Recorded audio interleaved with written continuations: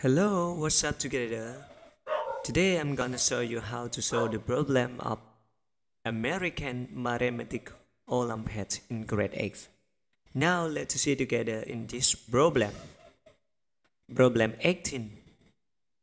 Rectangle ABC is inscribed in a semicircle with diameter FE as shown in the figure. Let DA equal to 16 and let FD equal to AE equal to 9, what is the area of rectangle ABCD in the figure? Now let's see the solution of the problem together. It's easy to solve the problem of, rec of find the area of rectangle ABC. The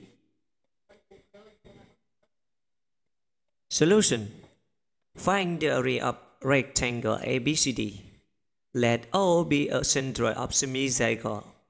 Now we uh, we connect OB and then we must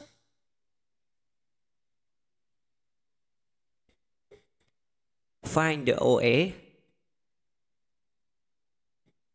Now we show that OD equal to OA. Have OE equal to OF and then OD plus FD equal to OA plus AE. Then OD plus 9 equal to OA plus 9. And then OD equal to OA and equal to DA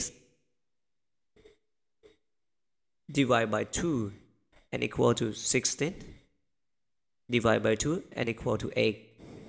By using Pythagorean theorem in right angle triangle OAB, we have OB square equal to OA square plus AB square.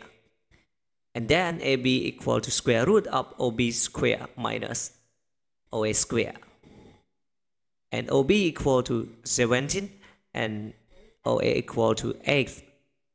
And then uh, we have AB equal to 4 square root of 14 then the area of rectangle ABCD equal to AD multiplied by AB and equal to 16 multiplied by 4 times square root of 14 and equal to 64 square root of 14